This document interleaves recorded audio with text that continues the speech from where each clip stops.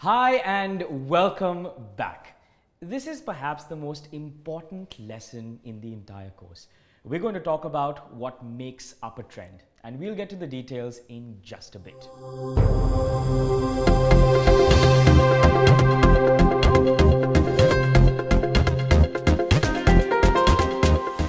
I wanted to go over an extremely important concept. Price is everything. As a technical analyst, you rely only on price because you know that all relevant information will reflect in price. You don't need to worry about a recent earnings announcement. You don't need to worry about news because at any given point of time, you will notice that there is good news and bad news. How are you supposed to make a decision? A technical analyst knows that if the information is relevant, it will reflect in price, and all you need to do is react to it. Price is king. Now, this may seem like a basic principle, but the implications are incredibly powerful. Let's go back in time. Let's go back almost three decades, back in October 17th, 1987. If you're an investor, that day probably rings a bell. It's known as Black Friday. That's the day when the US Dow Jones, which is equivalent to the Sensex and the Nifty here in India, fell a staggering 22% in a single day. Here's a chart of that period. As you can see, the crash occurred mid October and caused a sharp fall. From August through October, the Dow rallied from 2,400 all the way to 2,700 in just two months. That's a 12.5% surge.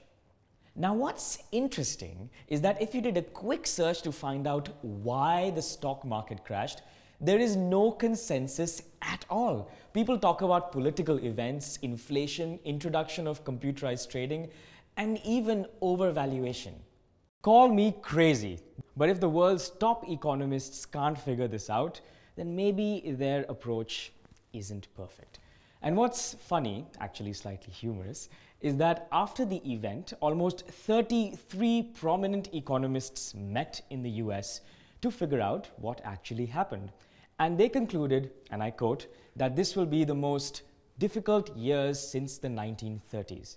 That's when the Great Depression hit America and completely destroyed the economic system. So, why are we talking about something that happened 30 years ago? Because one savvy trader, Paul Tudor Jones, was able to short the market and make a huge amount of money. And it was based purely on technicals, on historical price data and statistics.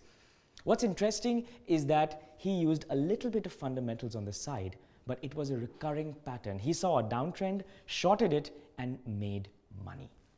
For Paul Tudor Jones to have made that trend, he would have probably seen an uptrend change to a downtrend. Now we know the three kinds of trends uptrends, downtrends, and sideways trends. But how do you objectify them and how do you know when they change direction? For that, we need to know what makes up a trend. It all starts with a rally decline, which make up a swing high, swing low, and then form the entire trend. Let's start with a rally. Here is a single bar. Simple enough. Now we're going to add a second bar, which breaks the high of the previous bar. Also notice that this second bar has a higher low than the first bar. When you have multiple bars doing that, making a higher high and a higher low, you get a rally. A decline is just the opposite. The bar breaks the previous bar's low, lower lows and lower highs make a decline. A simple enough concept. You see, the meeting point of a rally and a decline is called the swing high. And the meeting point of a decline and a rally is called the swing low. Let's take a step back now and try to understand what a swing high and what a swing low is. Basically, it comes down to demand and supply. It is resistance and support areas. So when there is an overabundance of demand, when demand picks up, you will get a rally. Obviously, prices rise, right? But when supply overtakes that demand, prices will then fall. That point is your resistance point. It was the point that the bulls stopped winning and the bears overtook the bulls. The same is true for a swing low, which is naturally a support area. So when you have an overabundance of supply, prices will fall, and at some point, the bulls will come in and start to buy and overswamp the supply, bringing prices up. That is your area of support. Now let's see this on a chart. This is Tech Mahindra. Now notice this is a weekly chart. Let's try to find out the swing highs. Now over here we have a white bar. This is 8, 8, 13. The high is 1277. Okay. The next bar crosses the high. As we can see, the next few bars do the same thing. That, as we know, is a rally. After that, the two next bars are actually moving down. Very simple. That's our first swing high. Okay, let's move forward. We get nice, beautiful bars up. And then this bar, which is the highest point in this congregation. Notice the next bar is bullish, but it's broken the previous bar's low. So we still have this formation happening.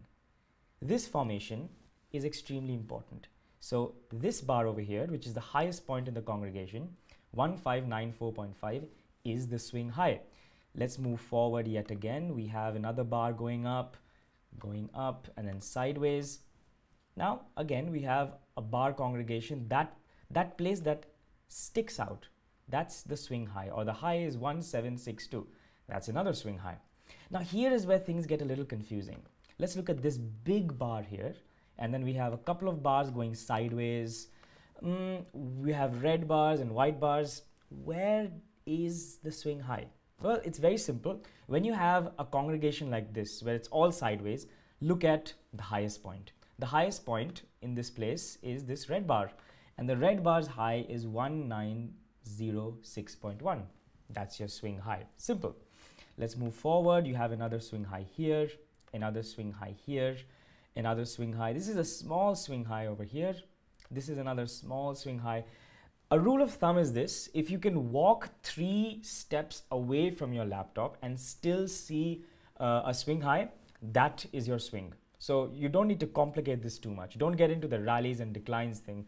Spot it, you just need a little bit of practice. You'll see this one over here is another swing high. We have another swing high over here.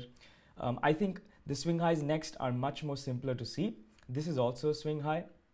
So is this. Now over here, it's actually very simple. You have few bars going up and then you have two sideways bars. That's enough for this bar to be a swing high. So that's 2, 5, 2, 3. That's another swing high. Then we saw after this white bar, we had another bar going up, another bar going up. Now this is a new high. Notice this is brand new territory. And then we get a huge bar down. Now so far we don't have a swing high. We need this bar to complete. So as soon as this bar begins, great. We have a congregation. Highest point is actually the white bar, which is 2540. That's your swing high.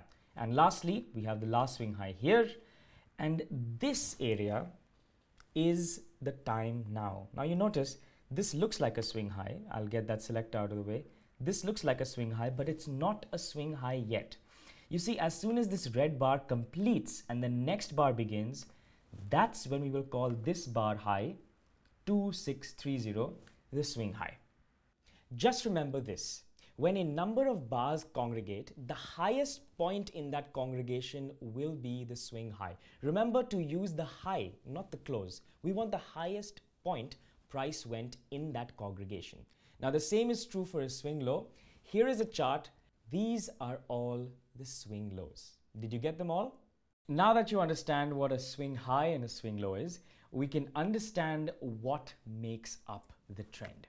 You see, when you're talking about an uptrend, for example, what does it really mean? It means the stock continuously goes up, but not all the time. You get few dips in between, and all these dips are higher swing lows. So, an uptrend is basically consecutive higher swing lows, which means every time market went up, came down slightly, there were more buyers to push prices back up again.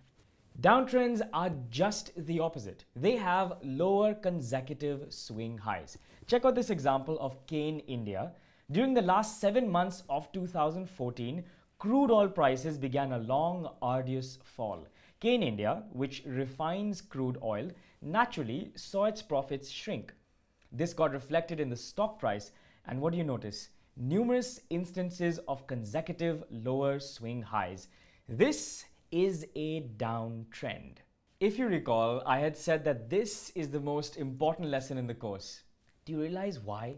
Because this is the foundation of what is going to tell us when the trend changes. Let's go back to the 1987 example. This is a weekly chart. Now place yourself in August or September of that year. Can you conclusively say that that was an uptrend? If you're unsure, don't fret. The next lesson is going to tell you exactly how you could have avoided this mess by using what you've just learned. Isn't it amazing how a simple chart can be so powerful?